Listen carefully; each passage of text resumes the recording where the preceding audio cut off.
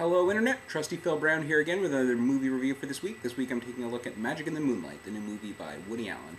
If you're someone who follows and enjoys the work of Woody Allen, you'll know that every time we get a really transcendent, excellent, and fascinating movie like last year's Blue Jasmine, we're going to get at least one, if not a few, fluffy, meaningless little romps in between. Uh, Magic in the Moonlight is certainly one of those, but the good news is it's one that works and is actually kind of worth seeing.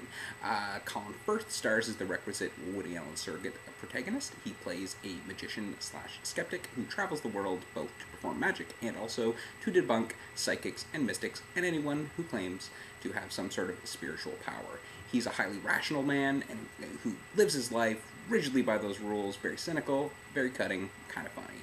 Uh, he's sent off to Germany to debunk a new psychic who's been found, who's played by the wonderful Emma Stone in just a charming and pretty performance as one would expect from her. And wouldn't you know it, not only does he start to think that maybe she might have some powers, but more importantly, he might be falling for her uh, it's ultimately a very fluffy, kind of meaningless movie, but it is a meaningless movie with thesis, in this case being about the importance of the rational mind, putting aside such things to embrace the irrationality of love.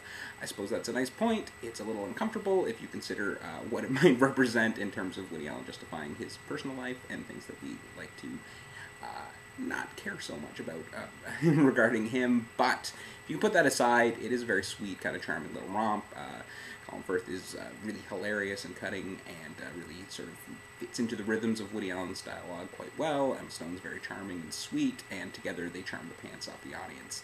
Um, that's really all you're going to get out of it. Uh, a couple good laughs, uh, some warmth, and a little bit of romance, and then the credits roll, and you either go home with a smile on your face or whatever what the heck that was all about.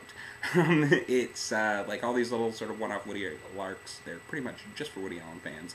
And as I said, this one is at least uh, successful in its very meager ambitions, and it's certainly worth checking out if you like Woody Allen or Colin Firth or Emma Stone. But if you don't like any of those three things, then certainly avoid it. Um, it's a bit of fluff, but it's entertaining fluff.